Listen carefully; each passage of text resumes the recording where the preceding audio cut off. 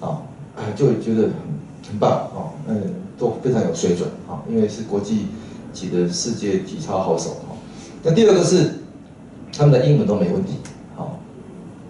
我我忘记告诉各位，我的 team 里面有一个非常重要的人物，他会讲丹麦语。哦，好，那台湾有很多的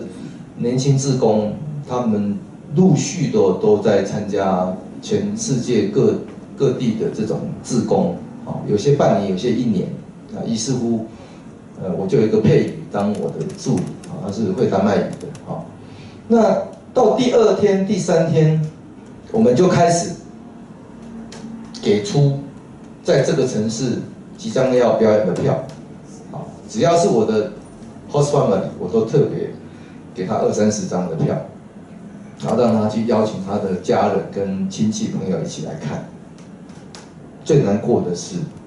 看完表演，他吓死了。那 到底问到这个查甫跟这个查某哪几个厉害点？哦，